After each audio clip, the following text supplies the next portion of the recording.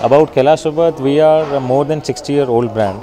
We are from Bombay actually. We have started our first outlet in Bombay. So now currently we are present in many of the cities of India and abroad as well. In India we are present in Mumbai, Chennai, Hyderabad, Bangalore and Aurangabad. And in uh, abroad we are in Singapore, we are in London, coming shortly in US. And in Hyderabad we have opened like 7 months before and our outlet is situated at road number 36 Jubilee Hills. Yes.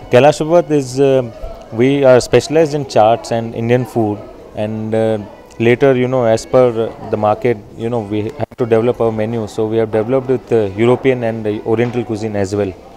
So we are serving it in all the restaurants and in Hyderabad we are currently running with a Holi Food Festival which is starting from 21st of March and going on till 31st of March. You know kind of Mumbai uh.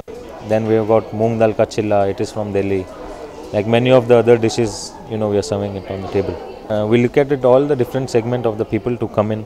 It's not that you know only high end people can please everyone just come and you know they can have good food at affordable prices. Uh, from hyderabad yes we have seen a very good potential you know throughout the market. And we are currently you know we our company is looking to expand more in hyderabad. Like you know from now we have two outlets.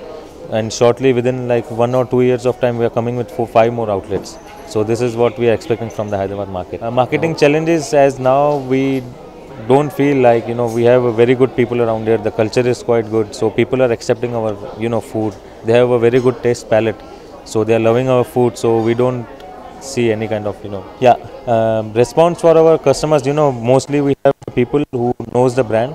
They walk in and they are you know quite happy to see us in Hyderabad. Like we are mostly in Bombay and other parts of the India. So they are quite happy to see us in uh, Hyderabad.